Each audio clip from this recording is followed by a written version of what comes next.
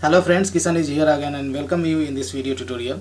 Uh, this is the second part of uh, my previous video. There we had uh, started discussing about mapping request parameters to the handler uh, method in spring framework right? So this is the project which I had created in my previous video tutorial but uh, still there are some coding as well as some refactoring part is pending. So let's continue with this wherever I had left so in previous video tutorial we had created this controller. Uh, we had created deployment descriptor. There we have registered registered dispatcher servlet as a controller. We had created two JSP uh, first register.jsp from there we are taking some input like user name email age country right? And we have a register button. When user clicks on the register button then you can see the url pattern right? Action. So slash register success there uh, there is a method in controller which is having a url pattern slash register success with post uh, method will be called when user clicks on the register button. So this is the request handler method which this is going to be called right? And when user runs the first time uh, this project and we are just uh, trying to forward this register.jsp to the client so that user can fill this registration form. So here we'll have to provide the logical name of the view. That is nothing but the register. Slash register sorry.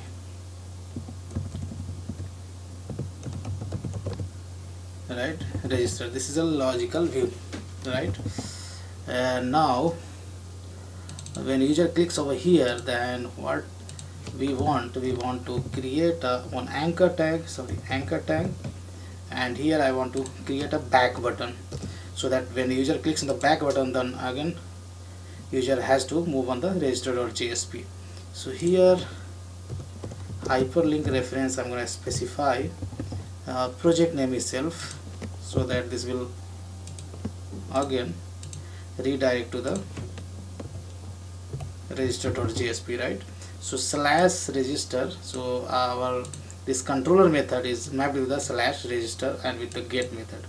So when user clicks on this back button then again user will move to the register.jsp so let's say back. So i'm not very much concerned about the ui design and all. So that is pretty easy to learn.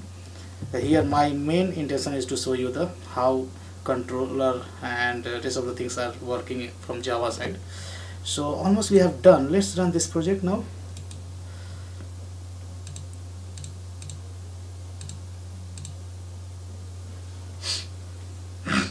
Sorry.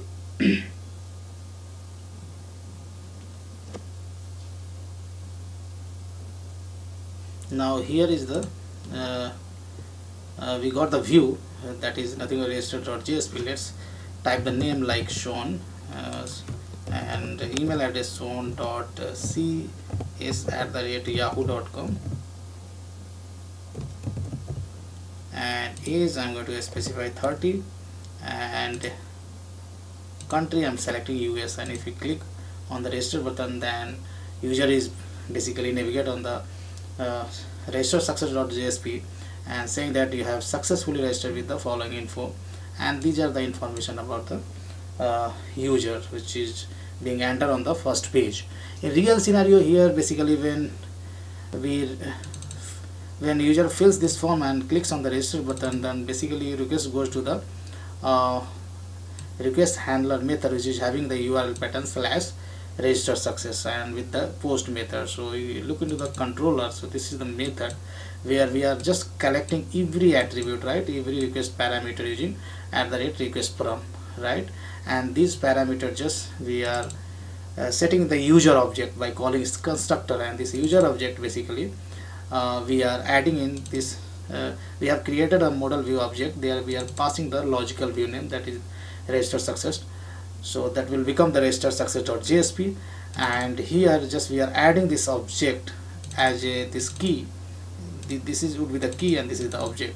So on register success.jsp we can make use of this key. So from user dot directly we can access uh, its attribute right? It's variable like user dot uh, name user dot age user dot email and user dot country on the register success dot jsp using JSP expression language that I have done. So now when user clicks on the back button then the user again navigating to the register.jsp pretty straightforward. So basically when we just we are sending request from the uh, view to controller and just from controller uh, to the some register success.jsp but in real scenario we will have a uh, some data validation things right? So before I mean sending this data to the uh, some somewhere in the database storing into the database you need to uh, validate this data. So those things we'll see in the future tutorial. So we'll have a register and DAL layer right? So those two layers are missing over here. So this is the uh, learning process process in incremental order. In future video tutorial we'll we'll have a end-to-end -end layer. So here my intention is to show you the how we can make use the request param. So when we talk about the request param so basically uh, here in this video tutorial just we are trying to explore how to map request parameter to the handler method so this is the one of the cool feature of the spring MVC is that you can retrieve request parameter as regular parameters of the handler method by using the at the rate request param annotation. Uh, this is a good way to decouple the controller from the HTTP servlet request interface of the servlet API. So in this example, uh, you can see uh, we are just collecting this parameter, right? Spring binds the method parameter uh, to the HTTP request parameter with the same name. So here we are using the name which we have uh, given the name in the JSPs, right? So we will have to make this name. So here if you look into the uh, in all request param in bracket whatever name you have given that should match from our JSP uh, param name right that should match uh, and this name you can give anything. Whatever you want you can give. Here I have given the same but this name this is the just local variable name. You can but if you don't want to put this name in the bracket then you will have to give the this name and this name must be same. Right? So this is also this will also bind the name with this name field. Right? So these things you will have to keep in mind.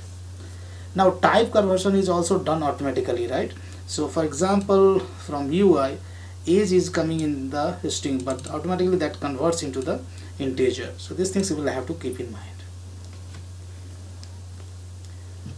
Uh, now in case uh, uh, in case the parameter name is different than the variable name you, you can specify like uh, like here you have a name but if, if, you would like to give the here username that also you can do like uh, you can do the user uh, sorry user name. And this is going to work perfectly fine sorry. That should be the user name right? But this should match from the our JSP page. So here we'll have to say user name.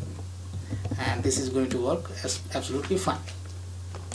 But if you do not specify in the bracket then here you will have to give the name itself.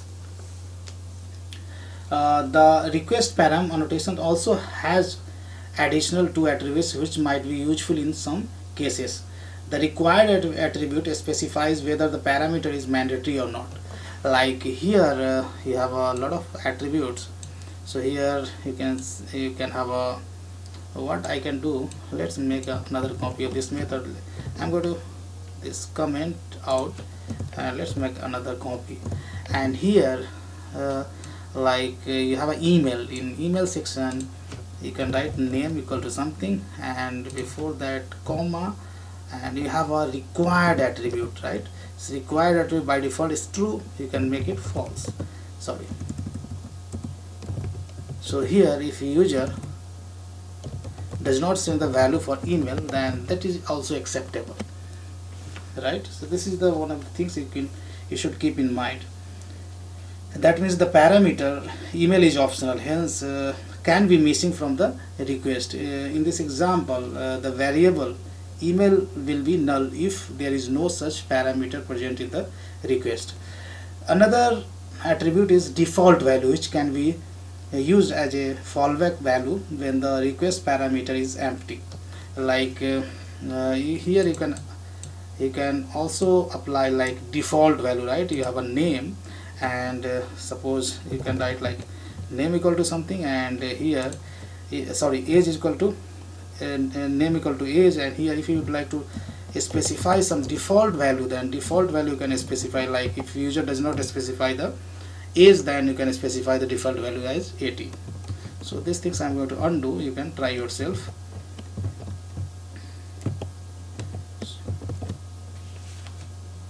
Right? So that, that, that, that are the things I wanted to explore in this video tutorial.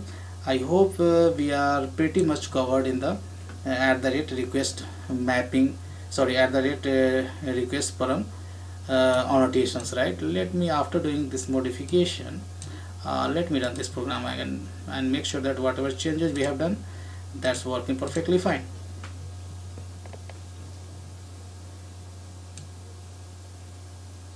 now email we have made optional so at this time I'm not going to enter email. So here I'm going to uh, enter name Martin. Email I'm not going to enter. Age I'm going to enter 40 and country is US let's click on so email there is no email because I, we have made optional. And if user wants to submit his email ID that is also fine